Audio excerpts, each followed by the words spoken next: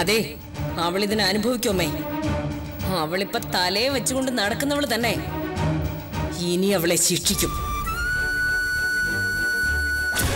മുത്തശ്ശന്റെ വീട്ടിൽ മോൾ നിന്നാലും ബാലച്ചി മോളെ കാണാൻ പോവും. ആ ബന്ധം വളരും.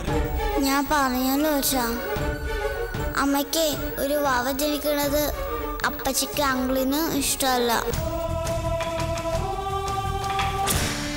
അവളിനി എന്ത് ചെയ്താലും കുറ്റം നമ്മുടെ പേരിൽ വരും.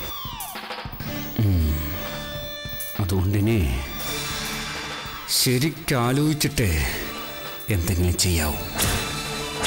ചേച്ചി അങ്ങനെ വാശിയൊന്നും പിടിച്ചിട്ടില്ല. നമ്മളിൽ നിന്നും നമ്മുടെ മോളെ ഒരിക്കലും അകറ്റാൻ ചേച്ചി ശ്രമിച്ചിട്ടുമില്ല. ഇനിയിപ്പോ തെറ്റും ശരിയൊന്നും അളക്കാൻ ഞാൻ നിൽക്കുന്നില്ല. കഴിഞ്ഞു പോയതൊന്നും ആവർത്തിക്കാൻ താല്പര്യവുമില്ല.